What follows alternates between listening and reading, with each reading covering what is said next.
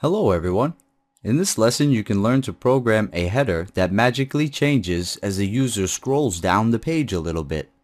When the user scrolls back to the top of the page, we'll make the header change back to its original display mode. Let's take a look at the finished product of the exercise. I'll grab the scroll bar and I'll begin to scroll down the page. Now when I do, watch the header and the menu system. See, the header collapsed or became smaller or went into an incognito mode while the user is scrolling down all the content of the page. When the user scrolls back to the top, watch the header.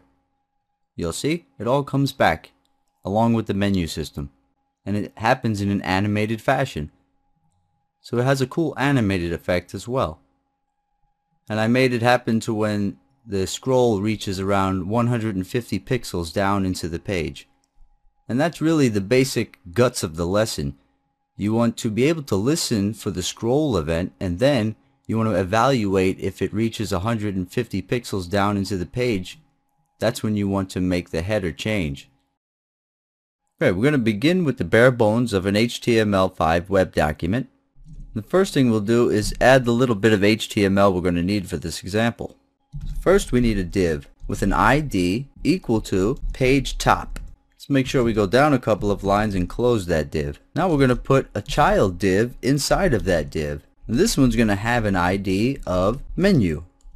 And we can type menu system in the inner HTML of that div. And this is where you would put all of your link elements or your button elements that make up your menu system. Or really you don't even have to have a menu system there. I just wanted to show an example of how to collapse two items. This way you can collapse or expand or change the properties, any CSS properties that you want to change in an animated fashion for any elements that you have. So you can reposition things when the menu or the header change. You can make things fade in and out. You can make the height change, which is what I'm going to do in this lesson. We're going to make the heights change to create the effect that you saw in the demo. And for the inner HTML of the header, which I named page top. I'm just going to put the word header. Now, underneath our page top container, we're going to have another container that is the wrapper for the rest of the content, the normal default content that would be on your page that the user is going to scroll up and down. So I named that div wrapper. And inside of it, I just put a little script that's going to put some dummy page content. Many lines. It's going to put 40 lines of dummy page content. It's going to be 40 H2 elements. And we're using a simple for loop for that in JavaScript. And you don't have to concern yourself with that because you would have actual page content inside of your wrapper element. And that's it for the HTML. Now we'll apply some CSS to this page top element, the menu element, and the wrapper. So here in the style element, we're going to pop in the rule for the page top. Now the way we get the animated effect is simply putting the transition property on it. And we put the other properties in CSS that we want to affect in an animated sort of way. So we're going to affect the height and the padding of that header in an animated fashion. Now, when the change comes, it's going to happen in JavaScript. But even though the change is going to happen in JavaScript, for instance, we're just going to instruct JavaScript to change the CSS of this element. And since we have applied this transition, it's going to be an animated effect. We don't have to put any animation or reference any animations when we change the property in JavaScript. All we have to do is simply change the property from one value to the next. And the, and the fact that we have this transition property in place means it will be an animated effect, even though JavaScript is going to be the technology that's instructing the change. Now the next rule we're going to put in place is for the menu div that's the child div inside of page top which is this guy right here. So these properties affect that div and this one's only going to have an animated effect on the height. And finally in the CSS we're going to add a rule for our wrapper div which is the wrapper that wraps all of your normal page content. We're going to make the margin top 230 pixels.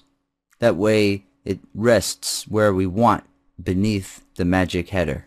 So I'm going to go ahead and collapse all of the CSS just so it's not in our way visually. And we're going to work in the script element now to add the JavaScript needed to make these changes happen when the scroll position reaches a certain point. So in order to listen for the vertical scrolling of the page, we're just going to add a listener to the window.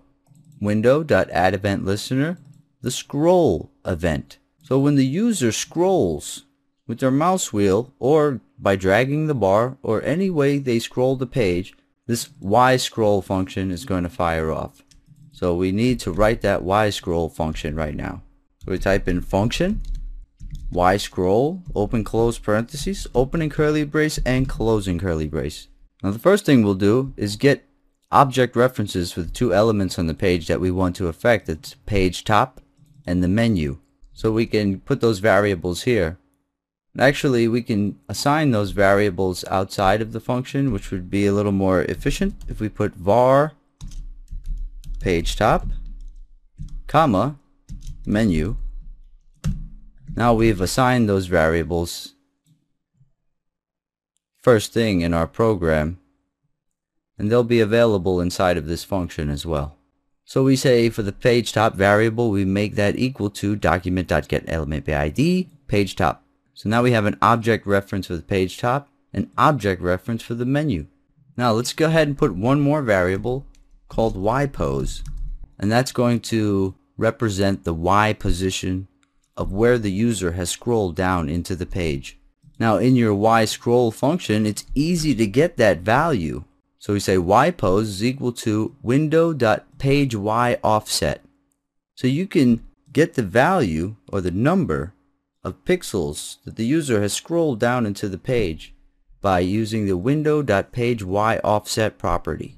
Now, once you have that number, all you have to do is put a simple if-else condition statement. It's very simple logic. Your program just has to be able to read the scroll position of where the user is in the scroll position of the page and then do things according to that. That's how simple it is. Okay, so let me put in that if-else condition statement right now and I'll explain it to you.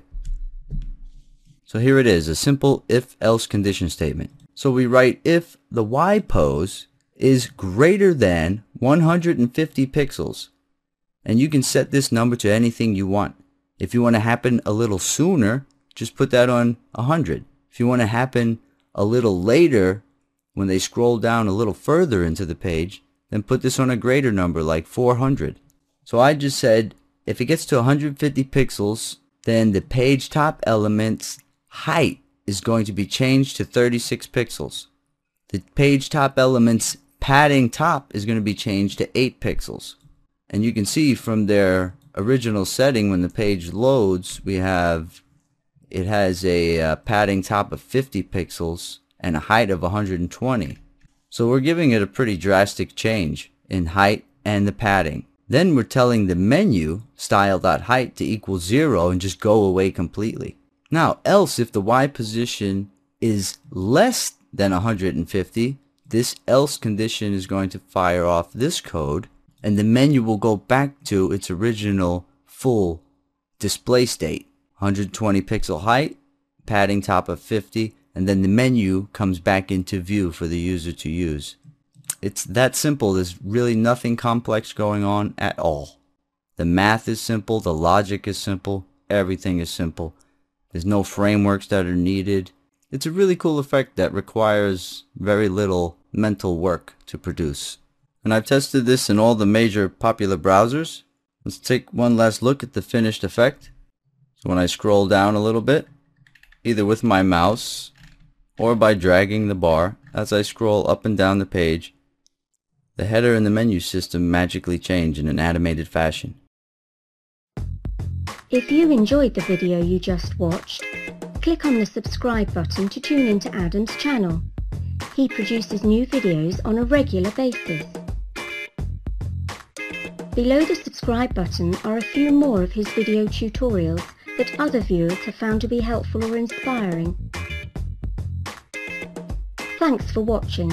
We'll see you next time.